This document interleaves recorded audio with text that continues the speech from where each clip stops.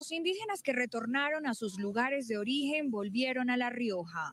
Cada rincón de este lugar está inundado de agua filtrada, desechos y comida. Las condiciones de salubridad y el hacinamiento parecen empeorar a diario. Según los líderes de la comunidad en Vera, desde hace un mes han llegado más de 500 personas, completando por lo menos un total de 1.500 que están refugiadas allí. ¿Ustedes piensan regresar a sus lugares de origen?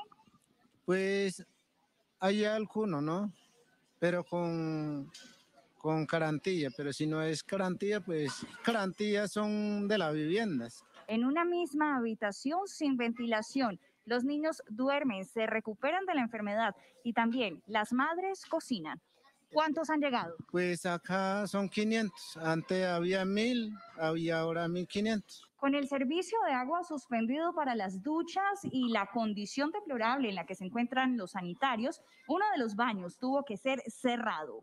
Se totearon los tubos y el acueducto y no salen donde duermen la habitación personas de 300 personas salen muy muy contaminados. En el único baño que está habilitado las personas lavan su ropa, hacen sus necesidades, pero también hay filtraciones.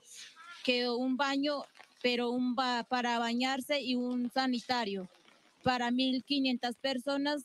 Los 12 dormitorios se han convertido en un refugio versátil para tres pueblos de la comunidad en Vera. Con cocinas por doquier en el suelo y animales comiendo los desperdicios, conviven hasta el momento 1.589 personas, 800 de ellas menores de edad.